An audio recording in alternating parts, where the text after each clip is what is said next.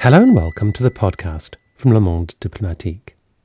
My name is George Miller, and in this programme, I'm talking about the Yellow Vests movement to Laurent Bonelli, a researcher in political science at the University of Paris Nanterre. Laurent contributed an article to the January edition of the paper entitled Gilets jaunes shock the politicians. And indeed they have. Since this protest movement, without conventional structure, leadership, or party affiliation, sprang up in November last year in reaction to fuel price rises, French politicians have been caught on the hop surprised, shocked, worried. The movement is decentralized, local, unpredictable. In addition to fuel price protests, it has campaigned for better housing and improved public services. Some concessions have been won from the government, but now well into February, the movement shows no sign of fizzling out. Sometimes it has found itself in clashes with the police, who've used flashballs and tear gas against demonstrators. That was the case on a landmark day of protest in central Paris on Saturday, the 1st of December. When I spoke to Laurent Bonelli at the end of January, I began by asking him about the significance of that day in the Gilets jaunes history. Yeah, I think it was a key date for a simple reason that uh, you know that France is a very centralized country. So that means that uh, if you want to talk with the government, if you want to uh, to be here, uh, you have to do something in Paris. Okay, so uh, most of people, uh, the, the, mobilization, I repeat, is a very local. It's, it's it's a very local mobilization. People are mobilized in their city, in their small towns etc. So uh, what happened uh, at, the, at the first of December and a week later is people come to Paris to make a demonstration, and here it was a, a huge demonstration and a lot of them were huge demonstrations, but they, very diff- they are very different of traditional mobilizations and protests because when you have a trade union organizing a, demonstration, of course, it's uh, the regulation is very strong. Okay, you have for, for police know uh, what where, where you will go. Uh, you you know you know everything.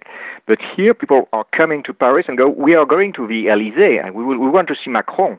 So they they come in car and by train, and they are in the in the city in the streets and with small groups and these small groups uh, have uh, began to uh, occupy in certain way the capital, and it was amazing for, for, for, of course, for the government and for the police. And here, in fa- facing this new kind of demonstration, the police uh, has been brutal. The police brutality has been terrible. They have uh, used gas, uh, they have used flashballs, they have used a lot of, of tools, and in the relationship between this mobilization of of people coming here because we wanted to talk to Macron and the police violence. Because there was a, lot of unrest in Paris uh, with car burning and so, so, so on and so forth. Can you say a little bit about what the the reaction of the politicians has been, the response. I mean, we said at the start they've been surprised by the Gilets jaunes arising in the first place. How have they sort of reacted officially to the movement?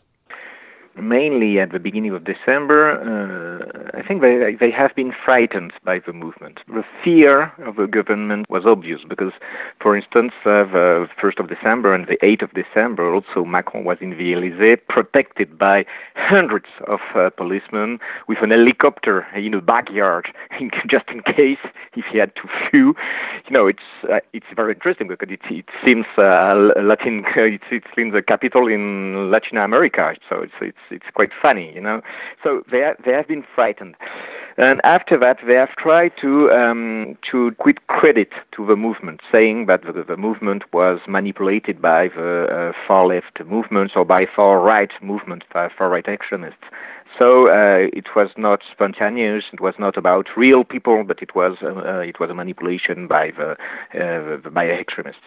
They have tried to do that, but it's, of course it's not the case. It's of course you have people uh, belonging to this kind of groups involved in the movement. They, they, are, they are not the movement. The main of the majority of the movement is people coming with with no uh, political background. So the majority of French people support very strongly the movement. Of course, you you have violence and people are condemning violence, but still people supporting uh, the, the, movement very strongly.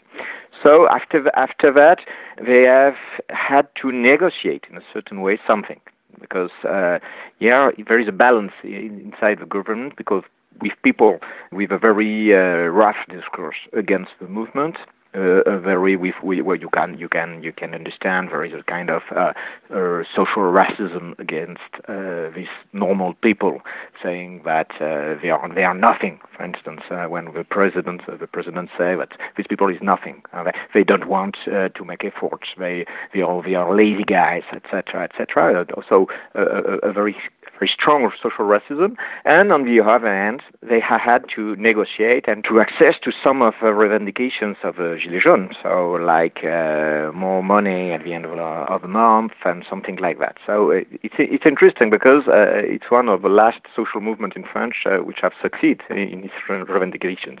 Not in all reivindications, of course, but in some of one, of some of them, at least.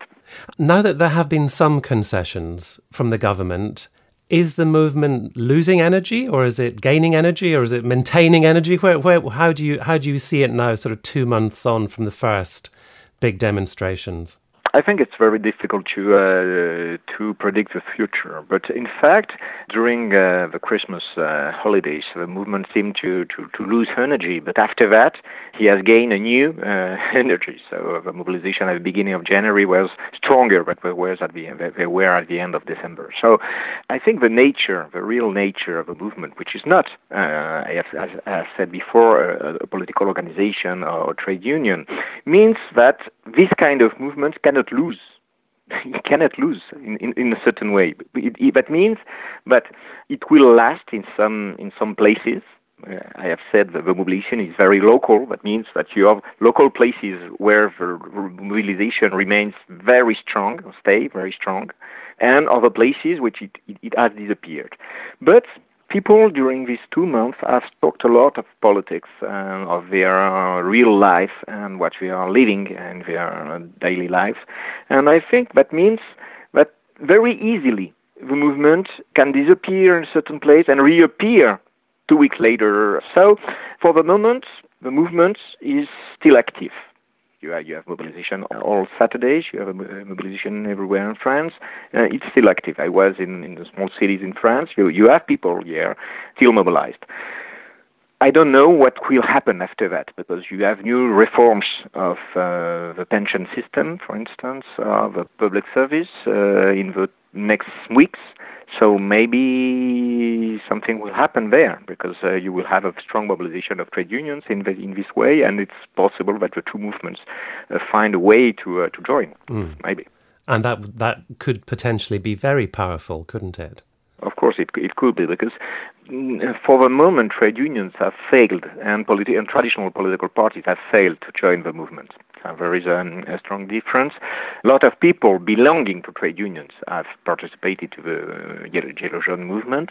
They have a lot of talks. There, uh, there is a dialogue, but not at the level of uh, the organization itself and for the political parties, where they remain uh, outside the mobilization, because uh, most of uh, Gilets jaunes are saying we don't, we don't want uh, to be politi- politicized or we don't want to be associated to uh, this party or that party.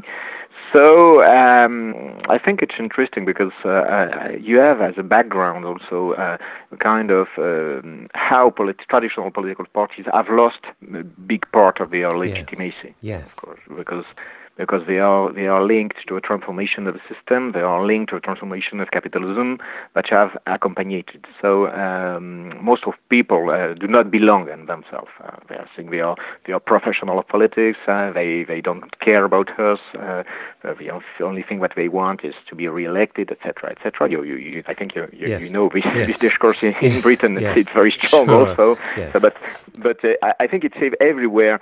Uh, it's everywhere the same thing in, in Europe. So uh, I think uh, the, the, the, all political parties linked to the to the capitalism of the 70s mainly, today are, are, losing credibility, are losing legitimacy. And what is interesting here is that you have uh, these people are saying they, they, they don't want to be politicized or they don't belong to political parties, but they are doing politics they are doing politics in a, in a very strong uh, sense uh, of the word.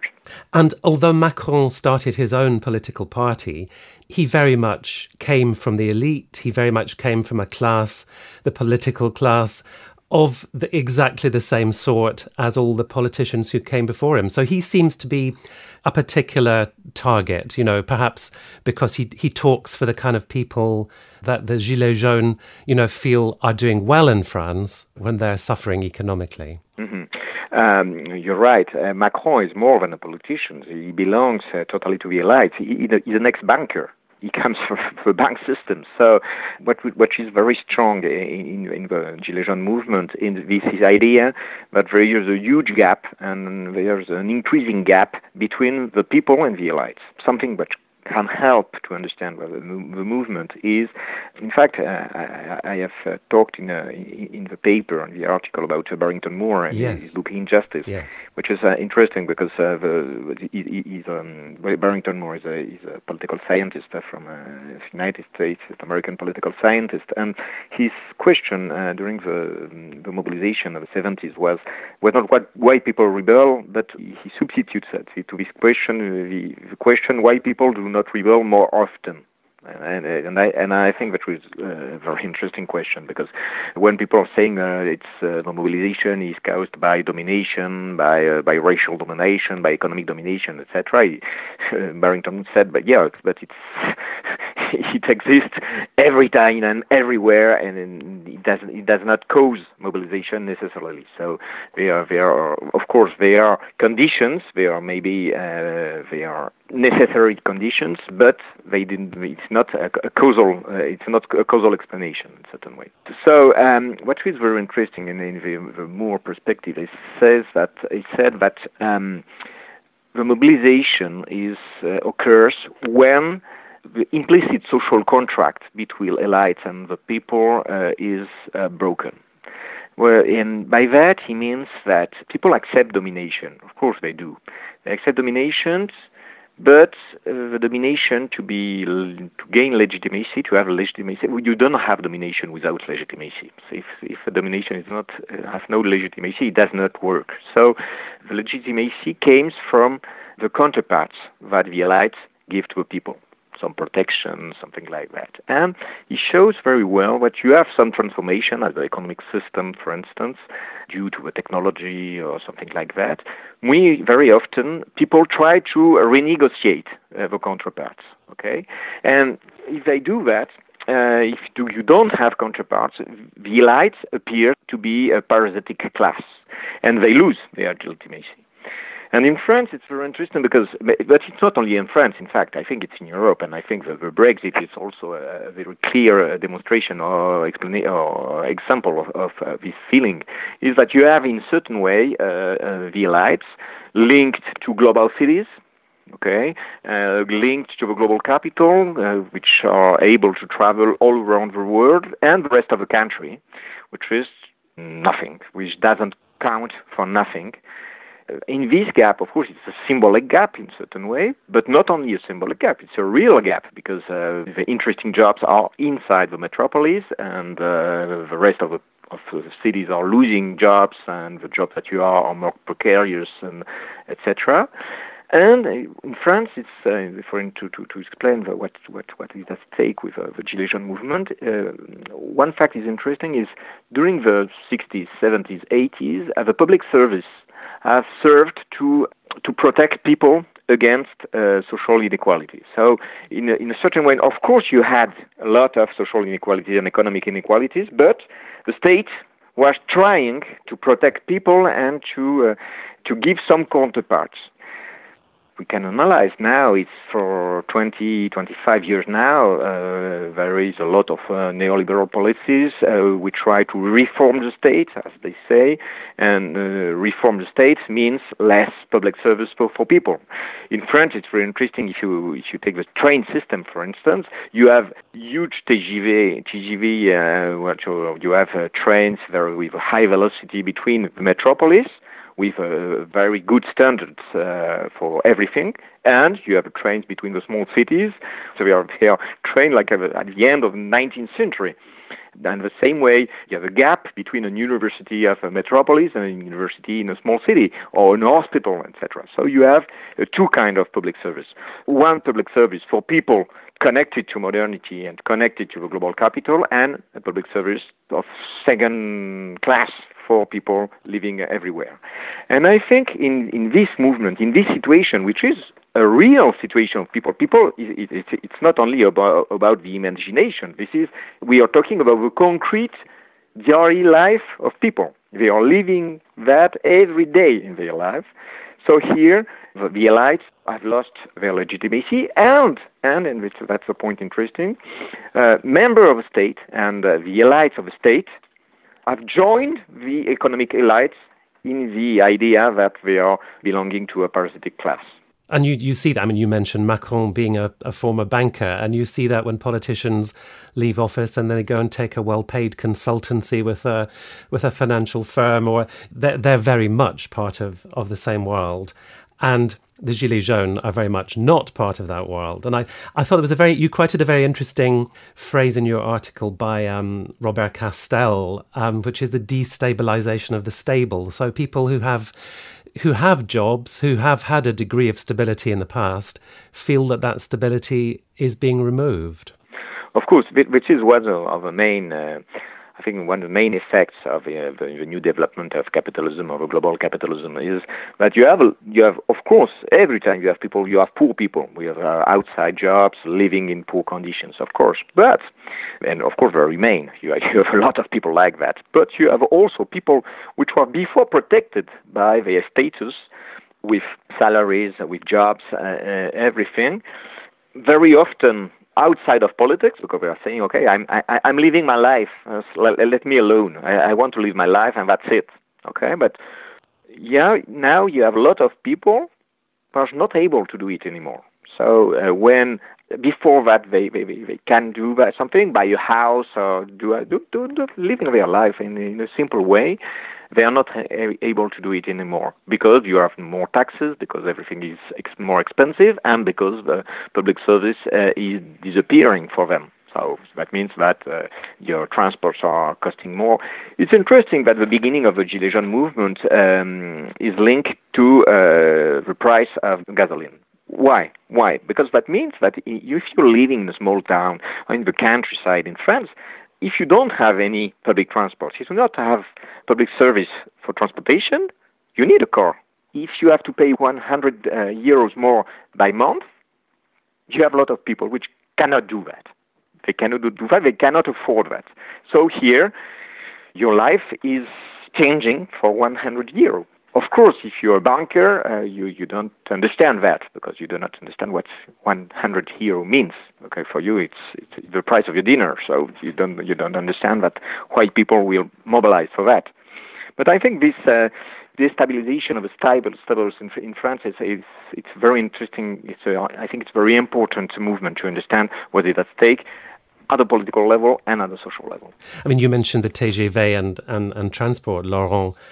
There's a there's a famous quote from Macron where he says a station is a place where you pa- you pass people who are succeeding and people who are nothing, and that's a very it's a very shocking kind of um, exemplification of what you've just been saying. It's a view from the political class that there are losers and there are winners, and he you know he's clearly identifying with the winners, the people who are going places, who have jobs, who have money, who are mobile, rather than the people who are worrying about how to put gasoline in the car. Of course, and I, I think, yeah, of course, it's very shocking. He's president of a republic, you know. That's that's it's not a conversation in a cafe, you know. It's it's he's he's a president. So so yeah, yeah. Here you can you can you can feel the, the social racism of uh, of, uh, of uh, most of our allies today because they are very, very strong um, feel contempt for for for, for gilets jaunes and for most of most of people. But I, I in fact I think yeah it's it's this this uh, formula is very interesting because uh, it, it, reveals what is at stake in the transformation of, of, public service and our society. Of course, for Macron, people which are winners, of course, are people connected to modernity, to connected to global capitalism, and the rest they count for nothing. And it's not a good thing when you're saying to people that they are nothing. It's very rough when you're president of the republic saying to you that you are nothing. Before before Macron, Hollande did in certain way the same policies than than, than Hollande. There is a, a, a, an important continuity in the policies uh, what we had uh, since uh, the the mid 90s, I would say. But Hollande was a politician, so he was closely linked to the political system, to uh, the local politicians and something like that. So it's difficult for them to have the same uh, social racism than Macron, for instance, because uh, they know where they are talking, they are talking with local politicians or with local mayors. They know in a certain way how people live. But Macron and the people around him are totally connected to this kind of global capitalism, but they don't have contact at all with the rest of society. So for them, the society is that. And for them, of course, the society is going from London to Paris to Amsterdam and to Berlin, and that's it. And the rest of life is only something that you are seeing uh, through the window of a train. Yes. Well, let me let me ask you finally, Laurent. There are EU elections coming in May. How do you see the Gilets jaunes movement? Influencing or playing some part, or how, how, how do you think that will sort of interact with the, the EU elections in May? I think it's very difficult to anticipate that because um, most of my political science, uh, political scientists like me, uh, are failing to to predict the results. So we are very, very, very, very bad to do that. Mm. We, can, we can do political sociology, understand okay. some movements, yes. but to, to very, very bad to predict. I'm not sure that they will have a direct link between the mobilization and uh, the ballot and the elections because if people are doing politics today. They are talking about politics. They are doing a lot of it. There is a very strong movement of politicization of people. I think it's very interesting. It doesn't mean at all that uh, people will transform this politicization like that in a vote at uh, for the uh, European elections. European elections, which are elections of something of a, a very for a parliament which few powers, uh, very very abstract in the concrete life of people. Of course, if you, if you ask for people living in the countryside in France what means what are the European Parliament is doing, people will say, I don't know, and I have no idea, because uh, in, in, in fact, the power that, that, that have, a, what is one of um, something interesting in the movement of uh, Gilets jaunes is, of course, uh, the decisions taken in Brussels have a lot of effects, of, of a lot of consequences in France. Many things that Gilets jaunes are fighting against come from uh, European European laws, European directives, etc., etc. So that means that a lot of things are a consequence of what is done at the European level. But uh, they don't try to talk to European level. They try to talk to their political representative. They want to talk to Macron, to a president of a republic. They are trying to talk to the MPs, etc. So it remains at a very local level. So to transform immobilization at European level through the elections, I think it's, and I'm not sure that it will happen. So you can have a very paradoxic uh, effect in a certain way. You, you can have, for instance, uh, right parties which will gain a lot of votes because it will be it, it could be a vote uh, in favor of order. We want law and order, so we will have uh, a, a, very strong vote for the right parties and for Macron, for instance. You can have something like that, and people mobilized in the Gilets jaunes movement won't go to vote. Because one of the effects of uh, the transformations that we have uh, uh with uh, global capitalism and its social effects uh, at the national level is that you have more and more people which don't vote. You have a very you're increasing uh, level of abstention everywhere in Europe. That means that people, if you don't want, if you don't believe in the capacity of politics to change your life, you won't go if you're saying, okay, it's the same, okay, we have Sarkozy and after that we have Hollande, after that we have Macron, and it's, it's all the same for us, of course you won't, you won't believe, you won't go to vote because you think it's useless. So if you don't believe in the capacity of politics to change your life, you won't vote. So my guess is that a lot of people mobilized uh, in the movement of Gilets won't go to vote or will vote for, for political party they vote they vote before. You're saying it's going to be yeah. hard to interpret. I think it will be hard to interpret, but of course uh, some uh, journalists and so uh, political scientists will do that, saying that okay, uh, that yeah. everything is okay. And it will be very difficult to interpret, but you will have a huge battle to interpret the things yes. uh, in a way uh, positive for the government yes. and the system. I was talking to Laurent Bonelli about his article Gilets jaunes shock the politicians, which is in the January 2019 edition of Le Monde Diplomatique. It's available in the print edition and on the website at mondediplo.com. If you're a subscriber, you can read the current issue online and access a complete archive of the paper going back over 20 years, as well as exploring other resources such as maps, images, the podcast archive, and online exclusive content. And if you're not yet a subscriber, there's plenty of content online to entice you to become one, and full details on how to go about it. In the words of the late John Berger, why read LMD? To make sense of what's happening in the world behind the misinformation. I hope you'll join me again soon for another interview with one of our contributors. And until then, thank you very much for listening, and goodbye.